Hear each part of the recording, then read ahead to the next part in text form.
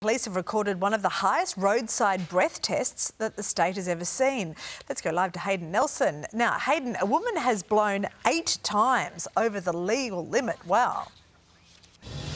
It's a it's a huge uh, number, 1.416, one of the highest readings ever recorded in the state. And doctors tell us if she wasn't attended to, this could have been a fatal amount. But thankfully, police were here very quickly uh, when she crossed onto the wrong side of the road and crashed her sedan into another parked sedan at low speed. When they arrived, they say they found her passed out at the wheel. When they opened the door, they say she vomited out of the door and a bottle of wine fell out. So obviously, very troubling there. Her licence was suspended for 12 months and it's likely she'll have to face court. There was another case of this uh, quite recently, earlier in the week, where a woman blew seven times the legal limit, also here in uh, South Australia in the Barossa following a crash. So, two uh, very disturbing cases there, Mon. Yeah, Hayden Nelson for us in Adelaide. Thank you.